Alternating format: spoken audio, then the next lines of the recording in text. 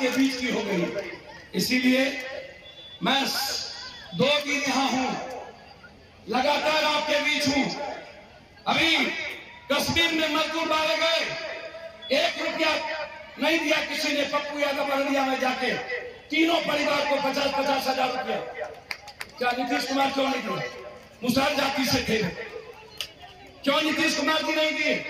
क्यों नहीं गए लालू यादव दिया जब दस दशरथ मांझी की मौत हुई तो पप्पू यादव वो घास की रोटी खा रहा था। हम दो लाख रुपया गया में जाकर के उसको पहुँचाए। दो लाख! बाय अकाउंट दशरथ मांझी के परिवार को मैडम रंजीत रंजन के अकाउंट से आठ हज़ार रुपया आज दस साल से चले, उसके अकाउंट में मैं भेजता हूँ। कौन है सिर्फ़ किसकी मदद होनी चाहिए? कांग्रेस की कि किसी और की? एक बात याद रखिएगा।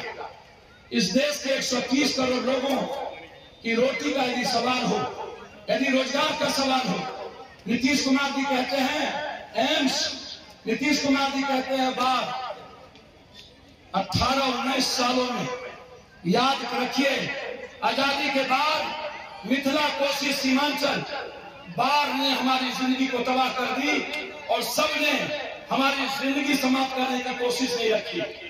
मैं चाहूँगा इसी इलेक्शन से पुनः एक बार मिथिला के इतिहास को ज़िंदा रखने के लिए कांग्रेस के हाथ छाप पर आपका वोट लगे। यही मैं आपसे कहना चाहूँगा, मैं हर इसी जो सरकार ने प्रधानी जी पैसा नहीं दिया चार लाख रुपया कोरोना का एक रुपया। लेकिन दरभंगा ज़िले के हर कोरोना परिवार को हमने उनके जीने के रास्ते हमको कोई मतलब नहीं। हम भाषण देने आज जा रहे हैं। रंजीत रंजन ने और उसके बाद जो बच्चे हैं हमारे?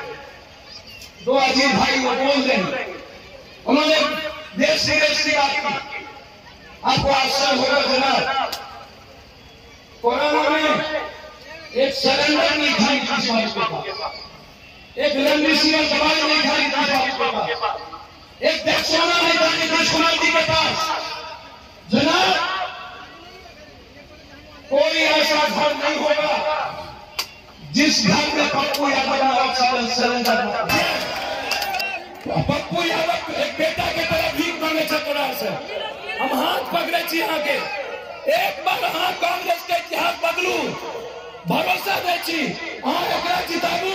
2024 में कांग्रेस अहाँ के बिहार दे हम भरोसा देने लगे धन्यवाद